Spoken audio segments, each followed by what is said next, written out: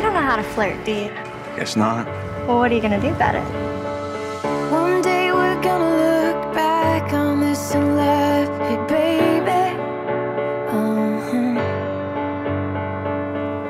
One day we're I just want what's best for my daughter, so it's gonna end right now. baby. If this was the last time you're gonna see me, what would you say?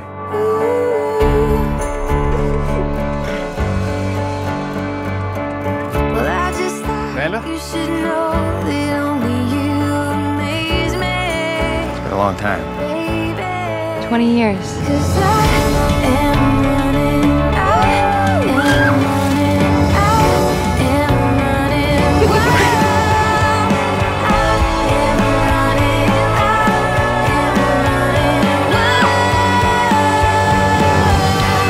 You aren't just someone I loved back then.